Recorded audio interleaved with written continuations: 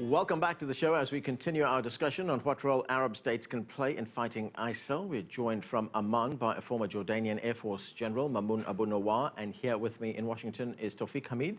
He is a former militant extremist from Egypt and is now a reformer. Also with us is Phyllis Bennis. She is a long-time writer and analyst on Middle East issues. Thanks again to all of you. Let's go back to Jordan, to Mamoun Abu Nowar. And uh, Mamoun, we've heard voices here advocating against an exclusively military solution uh, against ISIL. What are the options that are open to a country like Jordan right now in taking on this militant group? Jordan is very much concerned just to keep also the fight away from its border because it's when it's if it's come close and that mess to our to our border, we are in danger. Saudi Arabia are in danger. Egypt in danger. Sinai is in danger. You know, I just want to like to comment also about uh, bombing the cities like Mosul and other big cities. I don't think the coalition will do that. They will do whatever they can just to avoid collateral damage.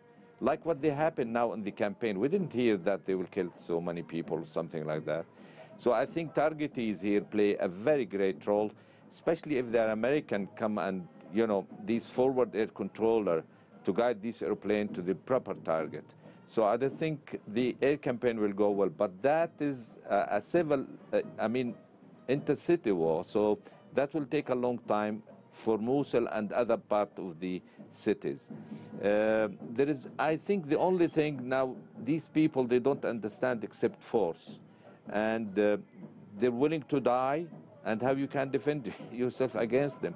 So the only way is to wipe them out. But having said that, I think Turkey get to be put some under pressure or influence to come in and open Incirlik Air Base and to step in doing even if uh, a safe haven or whatever and create sort of a no-go zone for ISIL. That also the play a great part, and that will be also a, a game changer for the whole thing. Uh, the balance, as I said, political reform in Iraq and Turkish step in. That will sort of surround them, isolate them, and doing their campaign also. That will have then an effect and probably they will hide away and go around mountains, etc. But you need also to carry on uh, another, uh, you know, challenge you, you might face in our region is okay. the ideological one, which we need to face it very well. Uh, in Jordan, these things with the what's happened to our pilot, you know, it fired back, and these people with ISIL uh, sort of sympathy or whatever, uh, they are diminishing away and, and, you know, they're finished. So Jordan is very much united uh, with the mission. Uh, we are not war uh, monitor sort of, but uh, right. that's the only way we can defend the country and the region as a whole. Okay, Phyllis, let me quote though, cite the words there of our guest in Jordan, Mamoun Abu Nowar, who said, these people do not understand anything but force. You know, I don't think anyone is talking about we should call on al-Baghdadi to sit down at the table and negotiate. That's not realistic. What is realistic is to recognize that ISIS does not fight alone. There has been a lot of discussion. How is it that this relatively small group, we don't know exactly how big it is, some thousands of, of fighters, but not 350,000 like the Iraqi army or something like that, uh, how has this relatively small group been able to accomplish so much? How has it been able to take over this huge territory? The answer is it does not fight alone, and it's not hated by everyone. The issue is not only, it certainly includes what we just heard, that it includes the ideological stuff. There are young people who are desperate enough to engage with that ideology and, and embrace it. But more than that, there are people who feel like their own government, and this is particularly true in, in Iraq right now, we're seeing this, where the government has been so sectarian the US created, US backed, US armed, US paid government has been such a Shia sectarian government that Sunni communities have felt not just that they're not getting jobs or they're getting they're, they're facing discrimination, but they're being arrested en masse, they're being tortured in prison, they're being executed in summary ways out on the streets.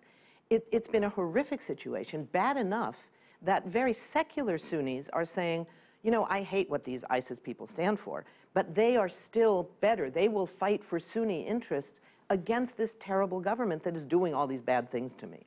Until that changes, the chances of winning people away from ISIS, I'm afraid, is simply not a realistic option. The notion that we're going to use bombing, you know, the idea that the US has done it so well in Iraq or Afghanistan, where the, the numbers of civilian casualties has been absolutely disastrous, both on the human level and in terms of the political consequences of turning well, as, huge as, populations right. against the U.S. As you pointed out, you were critical of the U.S. involvement in Iraq and Absolutely. Afghanistan. Should the U.S. have a role here at all, or is it aggravating the situation? It has a role. Yeah. It's playing the wrong role. The role is not a military role. That's making everything worse. The U.S. should be demanding and organizing, putting all of this energy that is now going into the military, the strategy, which military units, how much, whatever, all of that should go to the diplomatic side. How do we get, whether we call it Geneva 3 or whatever, how do we get new global and regional diplomacy functioning to start by ending the war in Syria?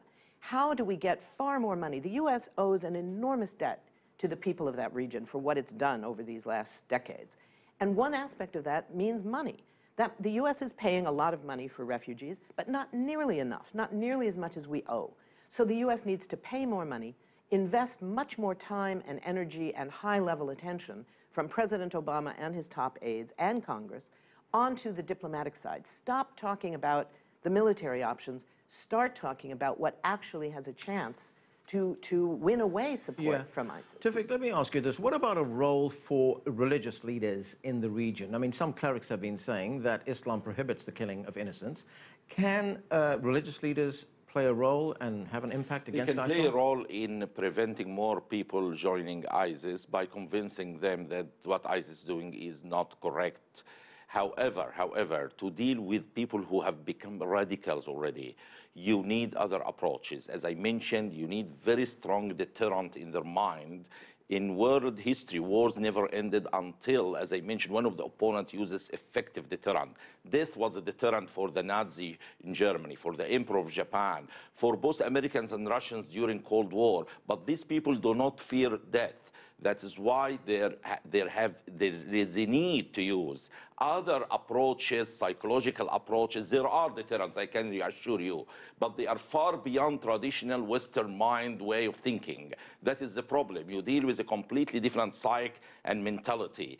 And uh, if religious scholars can play a role in decreasing the numbers of join, but those who are already radicals or jihadists or terrorists, mm. you need much better approach. You need non-traditional warfare that uses specific operations style plus PSYOP operations coupled with this, but it has to be effective PSYOP operation, not just PSYOP operation. Using just psychological right. operations not effectively can aggravate it and can make things worse. Okay, let me get the view of Mamoun Abu Nowar in Jordan. Uh, Mamoun, can you fight a war against an ideology?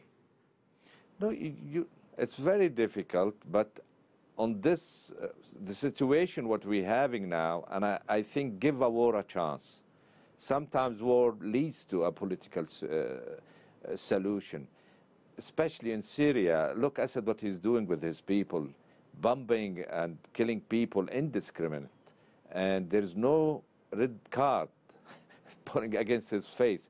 So sometimes you need to change the, the balance of power on the ground to get to a political solution. But you can't do this with ISIL. ISIL as a people are monster. They will kill everybody. They don't represent Islam or anything else. This is not a political thing. We have to buy them off the ground completely. To fight ideology, yes, you, you need to have, uh, you know, a big campaign, media campaign, social media campaign, all kind of thing to fight this and to convince people with dialogue, okay. etc., to get. All right, Phyllis, we've just heard that 1960s national anthem, Give Peace a Chance, being turned on its head there. Give war a chance.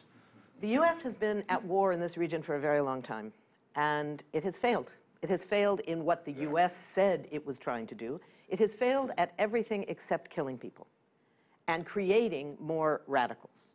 So I think we're done with giving war a chance. War had its chance. It lost. Those of us who were against it then were right, as it turns out. And trying to go back to war is not going to make it any different. President Obama's global war on terror is not the same exactly as President Bush's global war on terror, but it's also going to fail. You cannot bomb extremism. You can bomb some extremists and you will always kill others, but you cannot bomb extremism out of existence. You can only bomb people and kill them. That doesn't end extremism. It never has and it never will. Tawfik, you've got the last word. I see that the, the traditional warfares failed uh, over the last 10 years.